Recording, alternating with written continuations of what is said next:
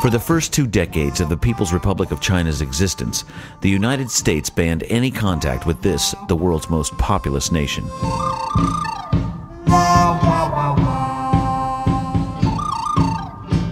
However, all this changed when President Richard Nixon began building bridges to China in an effort to forge a strategic alliance against the USSR.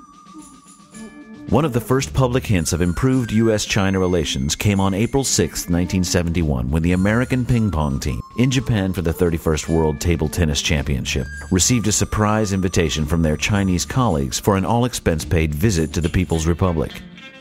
The invitation caused an international sensation.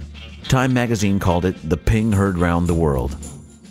The team was a highly unlikely group of ambassadors, a diverse crew from around the country.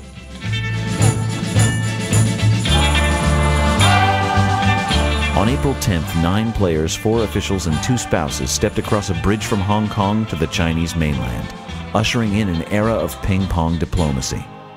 They were the first group of Americans allowed into China since the communist takeover in 1949.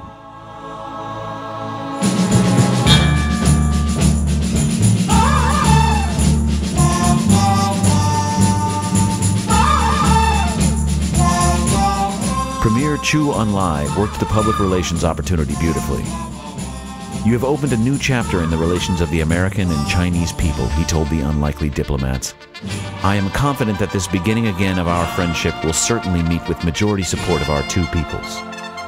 Ping pong was an apt metaphor for the relations between Washington and Peking, noted a Time reporter, as each nation signaled, in turn, its openness to change.